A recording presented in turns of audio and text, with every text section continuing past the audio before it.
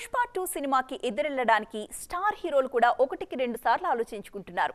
ఎందుకులే ఆయనతో అస్సలే తగ్గేదేలే అంటున్నాడు అంటూ కామ్గా సైడ్ ఇచ్చేస్తున్నారు. సౌత్ టు నార్త్ పుష్ప టూపై ఉన్న అంచనాలు ప్రత్యేకంగా చెప్పక్కర్లేదేమో కానీ ఇంత సునామీలో కూడా ఒక హీరో బన్నీతో పోటీకి సై అంటున్నారండి. మరి ఇంతకీ ఆయన ఎవరు ఆ సినిమా ఏంటి? చూసేద్దాం. పుష్ప టూ షూటింగ్ వేగంగా జరుగుతుంది. ఎట్టి పరిస్థితుల్లో ఈ సినిమాను ఆగస్టు పదిహేనున విడుదల చేయాలని ఫిక్స్ అయిపోయారు మేకర్స్. దీనికి తగ్గట్లుగానే షెడ్యూల్స్ కూడా పర్ఫెక్ట్గా జరుగుతున్నాయి. టాలీవుడ్ టు బాలీవుడ్ పుష్ప టూపై ఉన్న అంచనాల దృష్ట్యా పోటీగా రావడానికి ఏ హీరో కూడా ధైర్యం చేయట్లేదు. ఆగస్టు పదిహేనున ప్లాన్ చేసిన సింగం త్రీని కూడా వాయిదా వేశారు రోహిత్ శెట్టి. తెలుగులో ఆగస్టు పదిహేనున షెడ్యూల్ అయిన సినిమా పుష్ప టూ మాత్రమే. అలాగే తమిళంలోనూ ఏ సినిమా దీనికి పోటీ లేదు. సింగం త్రీ తప్పుకోవడంతో బాలీవుడ్లోనూ పోటీ ఉండదనుకున్నారు అంతా.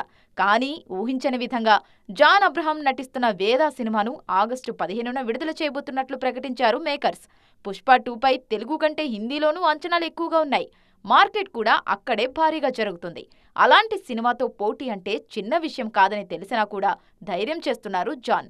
నిఖిల్ అద్వానీ తెరకెక్కిస్తున్న వేదాలు తమన్నా హీరోయిన్గా నటిస్తున్నారు. మొత్తానికి చూడాలిక. పుష్ప రూల్ను జాన్ అబ్రహం తట్టుకుంటారో లేదో.